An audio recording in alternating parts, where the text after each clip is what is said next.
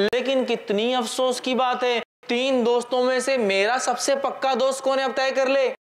और देखा यह जा रहा है कि आजकल हम लोगों का सबसे पक्का दोस्त तीसरा नहीं है वो अमाल पहला सबसे पक्का दोस्त माल है भाई माल, इसके वजह से रिश्तेदारियाँ तोड़ दी जाती है, इसको कमाने के लिए हलाल और हराम की तमीज छोड़ दी जाती है इसको कमाने के लिए सब कुछ किया जा रहा है। इसको कमाने के लिए, हासिल करने के लिए गबन, तकलीफ़, ठीक है? इसके बाद लोगों के हक मारे जा रहे हैं। इसी के लिए तो दुनिया में सब कुछ हो रहा है, याद रखिए।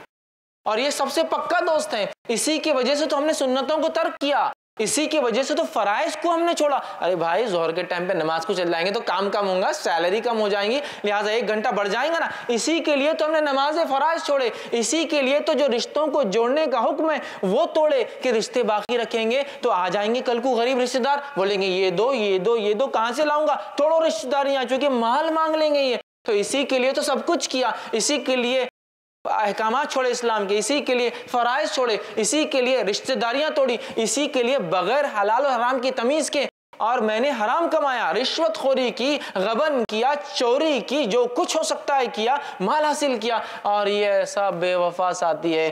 फ़र्स्ट स्टेज में ही छोड़ देता है, इंसान मर के चला जाता है, झगड़ा, जायदाद का चलते रहता है।